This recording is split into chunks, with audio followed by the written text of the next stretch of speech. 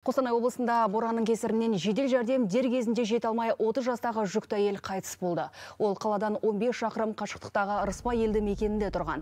Күрес жолдан ауылға бұрылатын 9 шақырымды қар басқандықтан жедел жәрдем жүре алмаған. Науқасты төтенше жағдай қызметкерлері жол талғамайтын көлікпен тас жолға алып шығады.